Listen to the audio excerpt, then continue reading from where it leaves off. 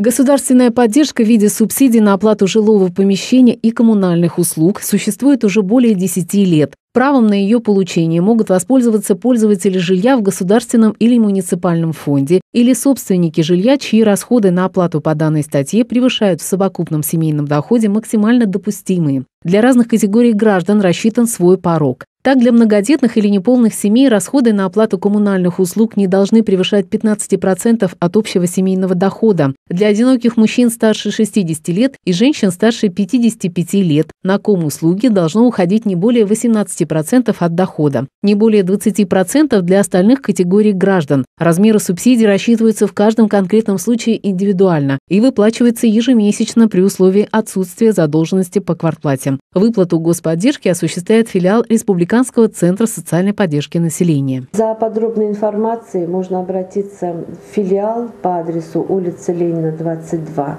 или же многофункциональный центр по строителей 59.